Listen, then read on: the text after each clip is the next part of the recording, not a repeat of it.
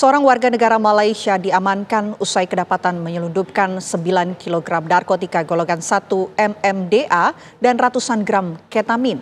Pelaku menyembunyikan barang haram tersebut ke dalam kopi saset. Inilah rekaman kamera CCTV saat pelaku tiba di Terminal 2F kedatangan Internasional Soekarno-Hatta, Tangerang, Banten. Pelaku berinisial THL, 38 tahun, warga negara Malaysia yang mengenakan baju berwarna hitam serta masker tampak diarahkan petugas bea cukai bandara untuk pemeriksaan X-ray terhadap barang bawaannya.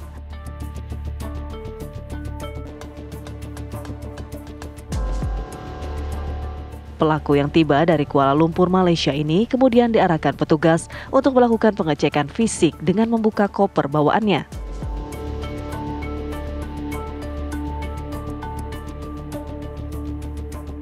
Dari hasil pemeriksaan, petugas menemukan 9.334,22 gram narkotika golongan 1 jenis MDMA dan 854,96 gram ketamin yang dikemas dalam bentuk kopi saset.